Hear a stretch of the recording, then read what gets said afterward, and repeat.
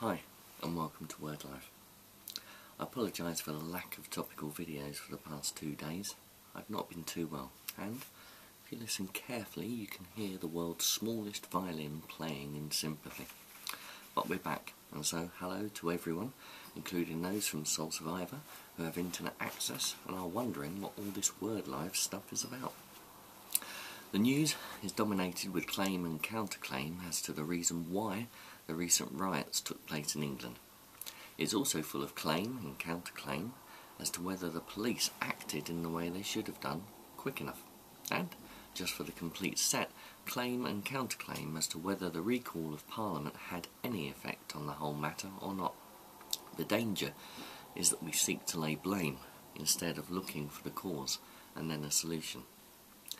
Elsewhere, the economy is still big news, with the growth forecast in the UK looking less and less like growth and more and more like stagnation.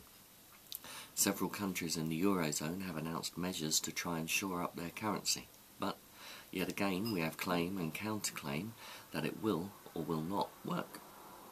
In WordLive, Paul finishes his letter to the church in Rome, and he finishes by urging the believers in that city to watch out for those who can cause division.